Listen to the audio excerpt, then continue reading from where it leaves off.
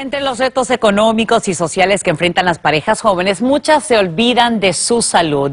Tal es el caso de un matrimonio de Florida que se dio cuenta que al usar la herramienta ¿Cuál es tu número? de su cadena Univisión, bueno, resulta que no van por buen camino. Como parte del compromiso de Univisión Contigo de Univisión Noticias, nos acompañan nuestro corresponsal médico principal, el doctor Juan Rivera, y los esposos que esperan cambiar estos hábitos para estar mucho más saludables.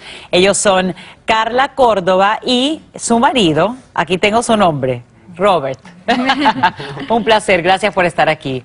bueno, hablemos un poquito acerca de sus vidas. Tienen un niño de un año y medio y unos trabajos con horarios completamente opuestos.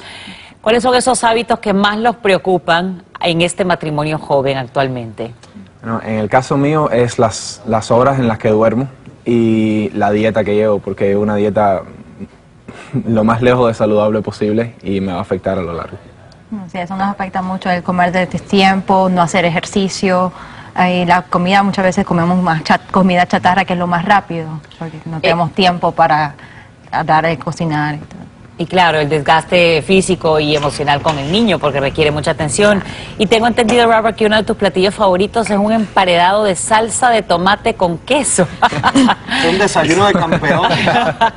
Uso dos panes, una lasca de queso, un poco de ketchup y sazón completa en la tostadora. Cielo santo, como diría mi mamá. Doctor, escuchando obviamente estos hábitos que tienen ellos, ¿qué les puede esperar a largo plazo en cuanto a su salud? Mira, lo importante, Sacha, es que yo creo que son jóvenes y como son jóvenes tienen una ventana enorme para poder cambiar y poder mejorar su salud. Interesante que cuando ellos hacen la herramienta de nosotros de cuál es tu número, la puntuación es 8 y alguien puede decir, bueno, 8 está cerca del 10, no es tan malo. Pero les voy a decir un truco, sacaron un 8 porque ustedes son bien jóvenes y la edad es un factor importante a la hora de calcular riesgos. Si ustedes tuviesen 10 años más, 15 años más, esa puntuación hubiese sido un 5, un 4. Entonces, lo que sí la aplicación hace para ustedes es que les dice exactamente dónde es que están fallando. Por ejemplo, la dieta, un emparedado de salsa de tomate, eso hay que eliminarlo obviamente.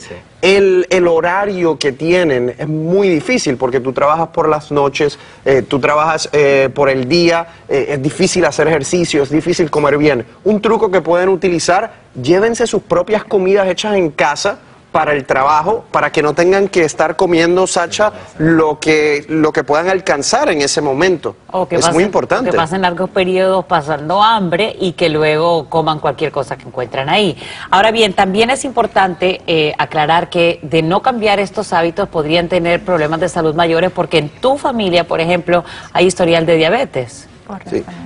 Y eso es importante, hay, hay que pensar qué puedes hacer para evitar ese, esa complicación en el futuro. Mis dos padres también son diabéticos. Carla, así que te entiendo perfectamente en la situación en que estás. El ejercicio, 10.000 pasos al día, mantenerte activa es bien importante. Si estás trabajando, yo sé que uno siempre tiene algunos breaks durante el trabajo, pues no te quedes quizás en una computadora o sentada, sino camina por, el estacionamiento o camina en, en, la tienda en donde, en donde trabajas. Eso es muy importante. Y a Robert, yo sé que ya has tenido dos hospitalizaciones, ¿no? ¿Por qué? Cuéntame.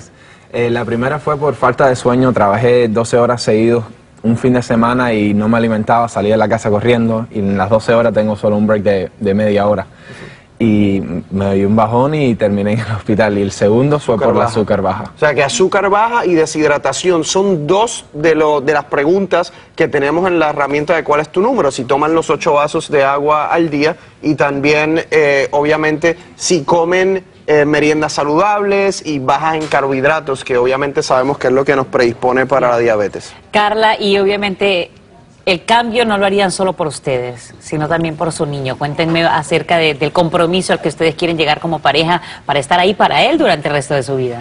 definitivamente tenemos que incorporar mucho ejercicio en nuestra vida y una dieta más balanceada para...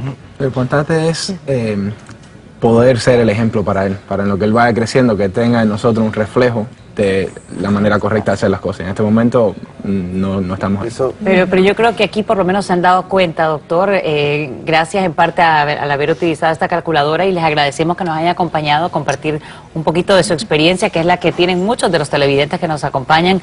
Doctor, excelentes recomendaciones. Espero que las pongan en práctica. Sí, las y que- vamos a hacer.